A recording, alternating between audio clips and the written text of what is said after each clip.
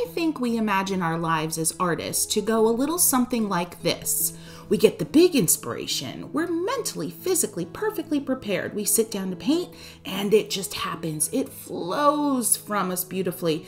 And we stay seated, inspired, and motivated until that daggone masterpiece is perfectamo. Sadly, friends, the aforementioned artistic utopia rarely exists. Yet when it doesn't, what do we do? We beat ourselves up over it. Yeah. Like we're committed entirely to upholding some odd stereotype of the ever inspired, passionately motivated artist who can't eat, sleep, or do anything else for that matter until the precious work is done. Wrong! it just doesn't work that way. And so today I'm going to give you a peek into how it actually does work for artists who are committed to pursuing this journey on a semi regular basis, at least how it works for me. And I'm hoping that the five ways that I paint pretty fast will help you give yourself a break along this incredibly inspiring but at times frustrating journey. So, I have five ways that I keep my painting sessions inspiring but fast paced so that I stay motivated. I work big on a smaller surface. I keep the layers simple. I add loose details in limited color palette. I stop early before I think I'm done, and I add bold, brave backgrounds quickly. Stick around, we're gonna get into each one of these. And there's one point that is super important that kind of buttons up this entire idea. I'm gonna tell you about it soon, stick around. Today I am using Academy 100% cotton watercolor paper, the Art for Joy's Sake palette, of course, a little bit of Dr. P.H. Martin's ink, and mostly the half inch dagger brush from my Art for Joy's Sake brush collection. A little bit of liner action because what's a painting for me without liner brushes? And here we go starting with a sketch of this peony. And you could honestly skip this step, especially if sketching stresses you out. Or yeah, you could trace from a photo of a peony.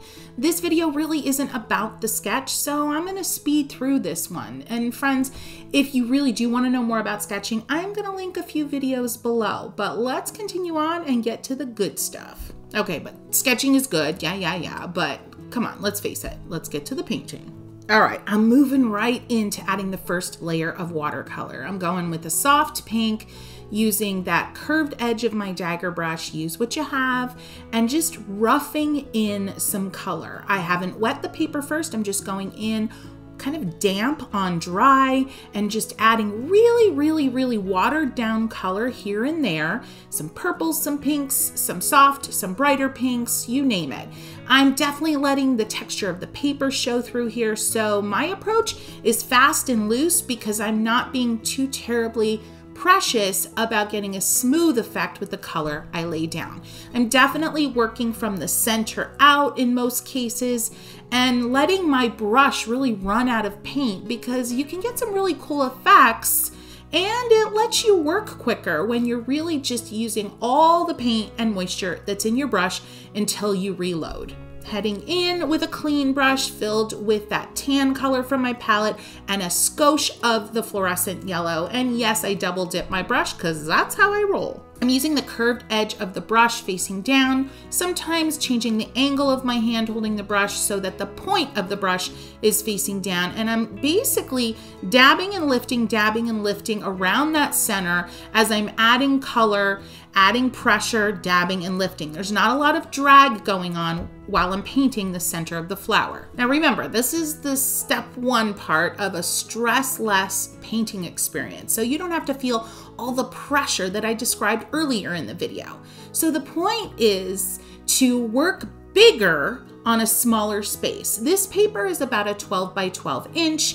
But I am making these peonies way larger than life. I mean, okay, maybe not way larger, but at least 30% larger than life. And that gives me room to move. That gives me a lot of space to kind of figure out the shapes and have a lot of place to splash around color.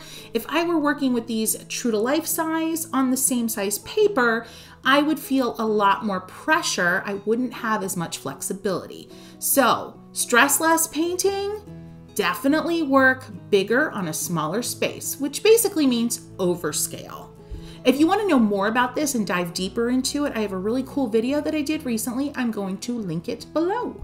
As I continue in this step, it's really about just getting color down on the page. You might even go back to your pencil and sketch in some things, but you're really just trying to work as quickly as possible but as instinctively as possible. So, not spending too much time making any one decision. You don't want to mull over exactly how much pink versus purple is on your brush or how much yellow versus that gorgeous emerald green is on your brush. You just want to get into the palette, get the color on your brush, lay it down, make adjustments if you need to, but work quickly, instinctively, but mindfully.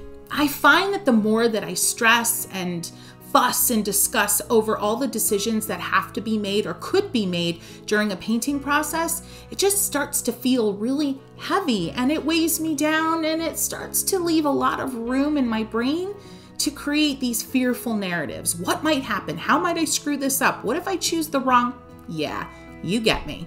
Now I'm heading into this second peony here, the smaller one, the much more deeper wine, burgundy, red, raspberry color and I'm going right in, a la prima, like super dark right off the bat. And if you want to know more about my approach to that style of painting, where I start dark with watercolor and work backwards to light, which is the total opposite of what you would think, check out the video below because it's a really fun, freeing kind of approach. Moving on to step number two, which is keeping your layers simple. So the first layer is this loosey watercolor wash over all the surfaces that I sketched out initially. Or maybe you didn't sketch and you're just kind of painting your shapes and you're ready for that next step. Now we're gonna start adding some detail with our second layer. But the point here is to stay loose, stay kind of separated. And what I mean by that is if you notice yourself leaning in and getting closer and closer and closer to the page, it probably means you're getting too hyper focused on the details and that you might need to take a breath, stand up, and take a moment.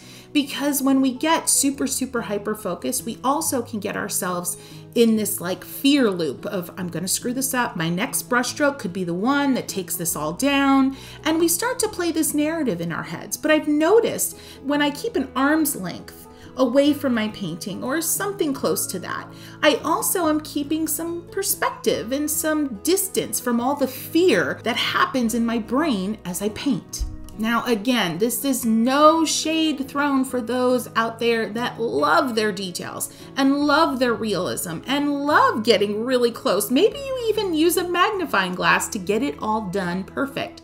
No shade. If that brings you joy, chase after it. But this video is for those of us who've tried all that and it doesn't quite work for us. All right, let's head into comments as I continue painting here. Let me know, have you tried the realism thing? Was it for you? Did it energize you or did it just completely stress you out? I wanna hear your story. Let's talk about it down below. And while you're at it, if you're having a good time or at least you are curious about all of these things I'm talking about and you're still listening, would you give this video a boop? That's a like, I'd really appreciate it. So for me, keeping the next layer simple is all about looking at the next biggest shapes on the page.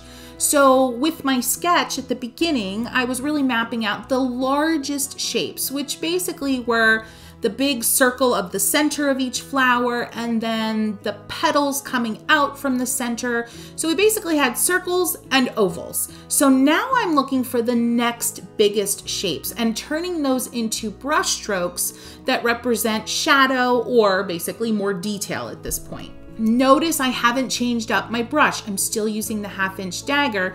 So while I'm getting more detailed strokes, thinner strokes, they're not as thin as what I could get with a liner brush because we're not there yet and we're not really going to get fully there with super, super fine details because we are trying to keep this easy, breezy, loose, and stressless.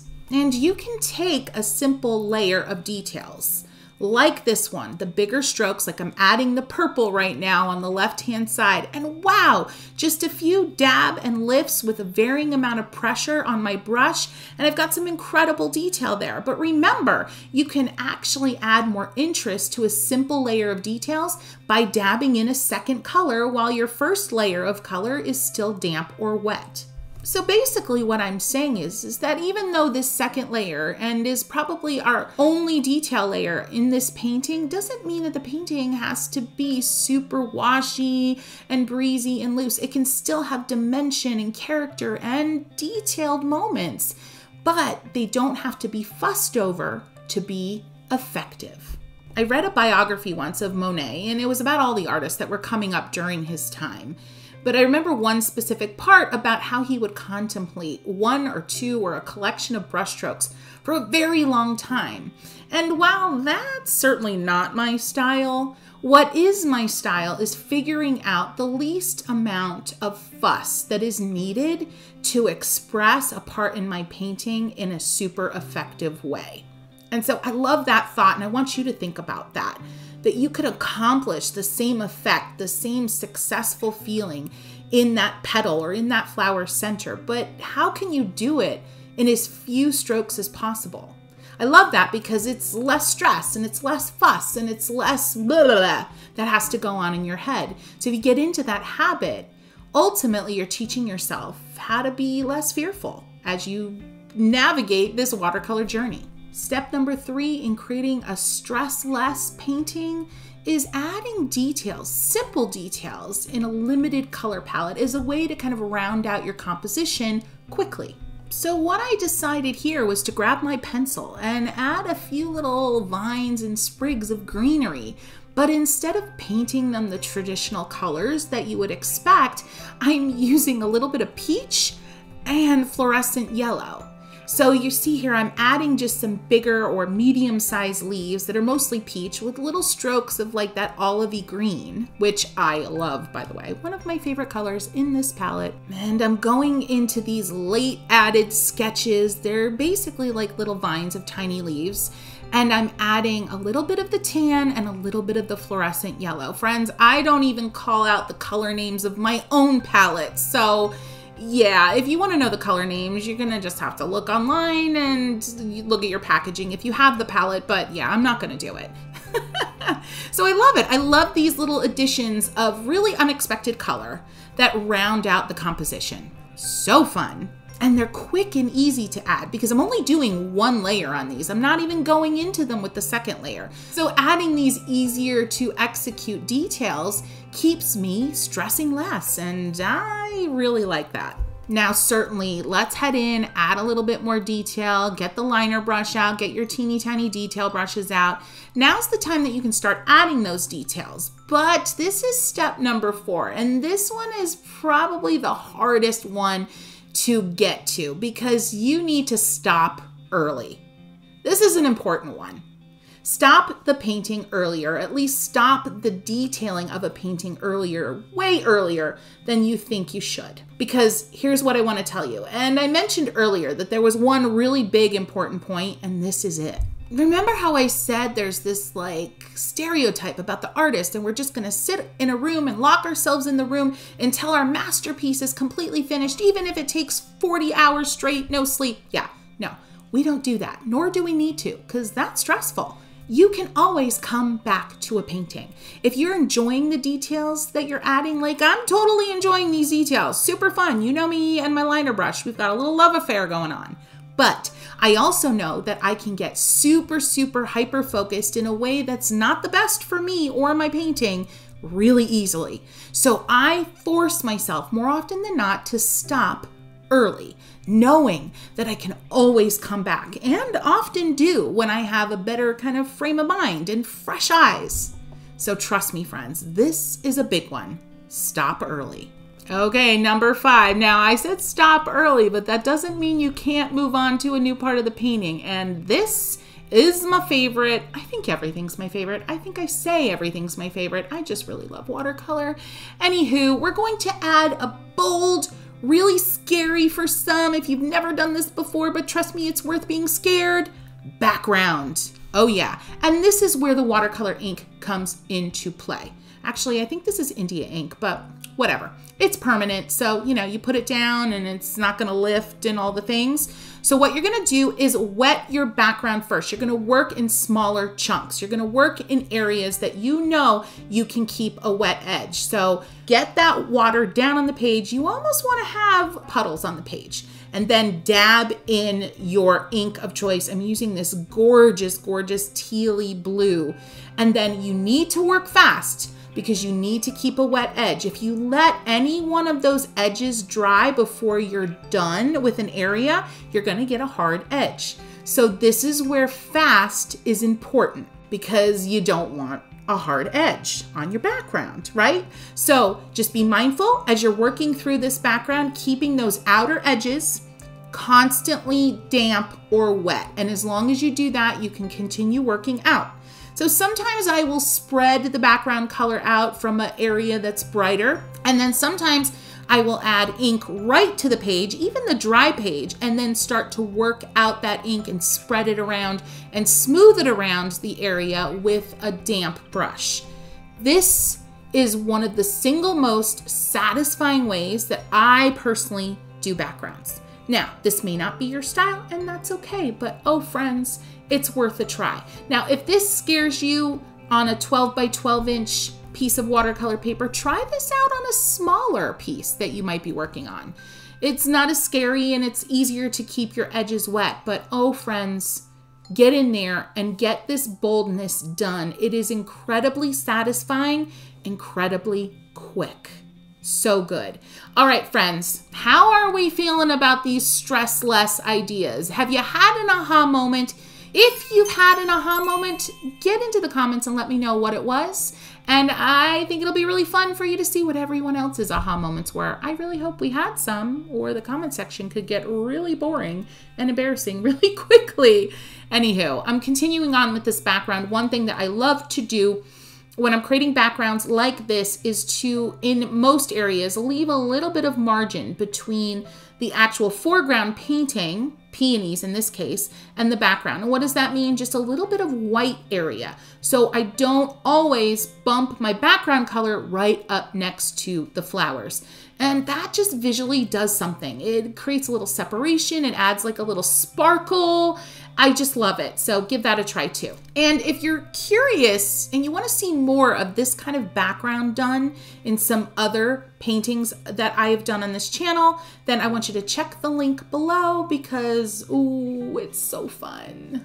Okay, I don't know about you, but I feel a little bit out of breath. But you know what? I'd rather be a little bit overwhelmed, but with a painting in front of me that feels really successful than a painting in front of me that just feels tired and overworked and overdone and over, right? So let's recap. If you want to have a less stressful, fear bashing kind of painting experience, I want you to try working over scale I want you to keep your layers simple and make the most out of the least amount of brushstrokes. Number three, I want you to use details but with limited colors to fill up a composition quickly. I want you to stop early. And last but not least, you've got to try the bold, brave background because it really brings a painting together quickly. So if you've watched this and you're like, yeah, the one, two, three, four, five stuff, Kristy, that's cute, but I just want more peonies well, head on over to this playlist and I've got all the peony love for you that you could possibly want. So I'm just going to end by saying happy, happy painting, friends.